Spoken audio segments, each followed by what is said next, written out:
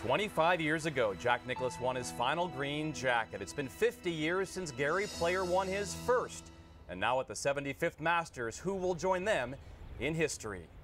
It's Sunday here at Augusta National. Look at the mystical course as the fog lifted this morning. We all wondered what storylines it would unveil. Welcome, everyone. Global Television is live from Augusta, coast to coast. I'm Kevin Smith. Glad you could join us on this special day in golf, the Sunday at the first major championship of the year. 14 years after Tiger Woods said, hello world, winning the Masters as a 21-year-old, another 21-year-old. Rory McIlroy has led wire to wire, but will his high wire act be affected by the gravity of the moment?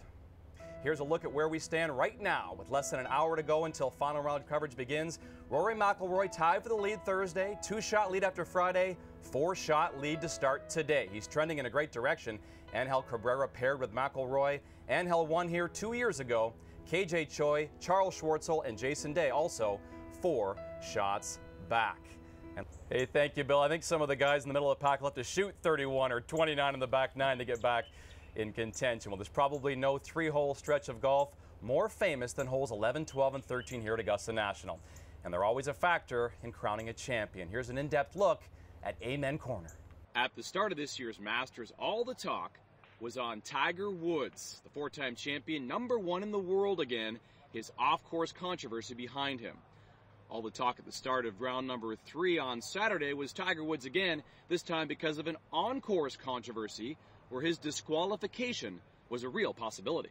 Sunday at the Masters started like a horse race with 13 golfers within four shots of the lead.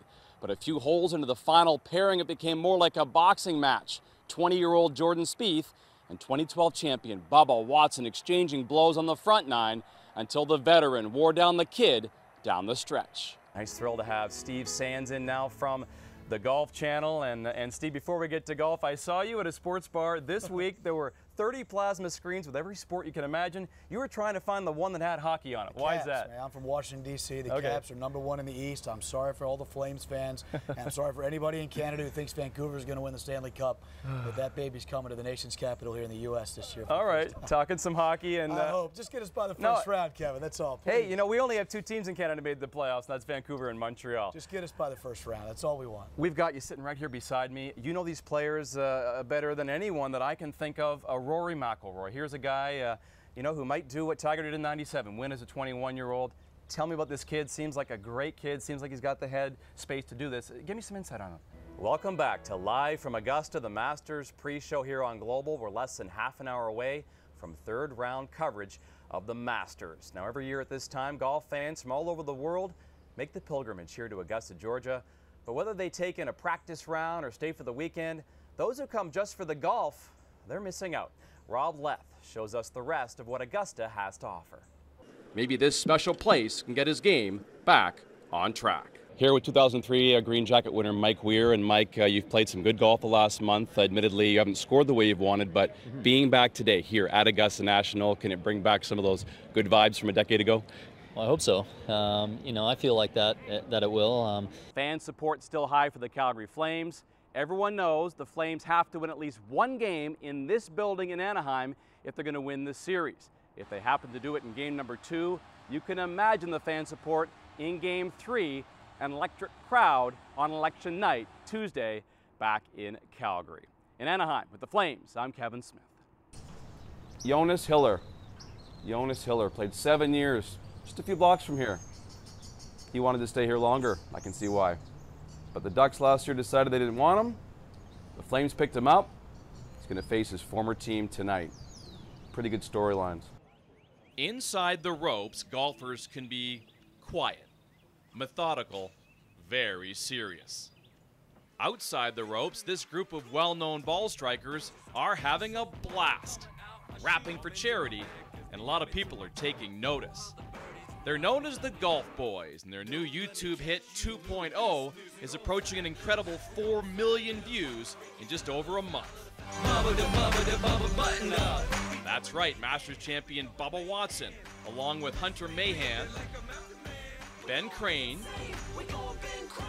and Rickie Fowler are having some fun and raising a lot of money for charity in the process. We came together and let's have some fun. Let's goof around and show our personalities. Let's grow our brand, but also grow the game of golf. Also raise a few charity dollars. Um, so yeah, it shows the fun side. And so there's probably kids out there that definitely who doesn't want to be like Rickie Fowler. And so uh, Ben Ben's a little older, so he doesn't really count. He's just in there to try to get some publicity. And then Hunter, you know, Hunter is he's a real quiet guy, but you know, he shows the fun side of him. And so for me, you know, I'm boring as well, so shows the fun side of myself. The insane Ben Crane, the only member of the Golf Boys not here in Augusta this week, known as one of the slowest players on tour, he even poked fun at himself, referencing a 2005 incident where Rory Sabbatini, one of the fastest players, left him behind in frustration on worldwide television.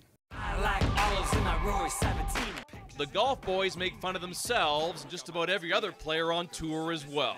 I got a drippy faucet on my Stewie Stewie sink. Golf Boys, man. The vid is raising a lot of money to build clean water projects. On Thursday, the Golf Boys hit the course trying to stay out of the water as they start the first major of the year. At Augusta National, at the 77th Masters, for Global News, I'm Kevin Smith.